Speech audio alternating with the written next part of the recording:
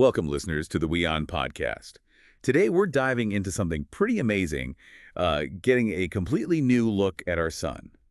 Specifically, its poles. We've never really seen them like this before. That's right. It's uh, it's genuinely a milestone moment. We're talking about the first ever close-up views, particularly of the sun's south pole, thanks to the European Space Agency's solar orbiter. And that's huge, isn't it? Because, well, usually we're kind of stuck looking at the sun's middle, its equator. Exactly. Earth, you know, and pretty much all our previous spacecraft orbit on this flat plane, the ecliptic. Like being stuck on a merry-go-round and only seeing things at eye level. Pretty much, yeah. You just can't easily see the top or bottom.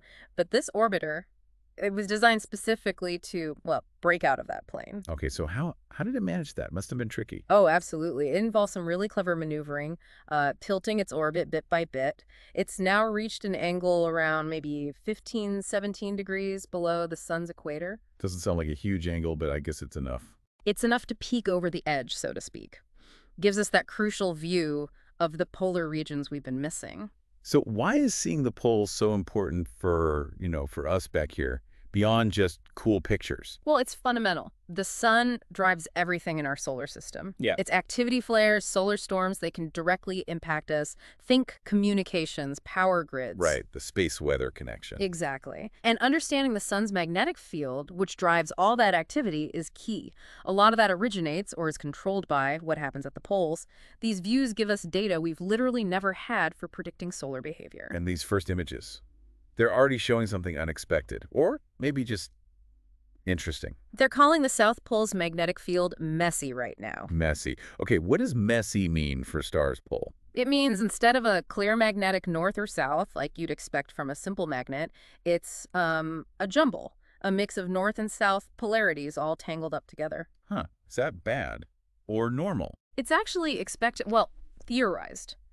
This messiness is temporary. It happens during solar maximum, the peak of the sun's activity cycle. Oh. Wow. The sun's entire magnetic field is basically in the middle of flipping over. So things get really complex and tangled at the poles during that transition. So we're catching it mid-flip. Precisely. Right. We're seeing that process happen. Later on, it'll settle down into a clear single polarity again. But understanding this messy phase is crucial because it relates directly to how solar wind and eruptions are generated. Wow. So what's next for the orbiter? More of this. Yeah, the plan is to keep tilting that orbit, higher angles, better views of both poles in the coming years. So even clearer pictures, potentially. Clearer views and maybe completely new discoveries.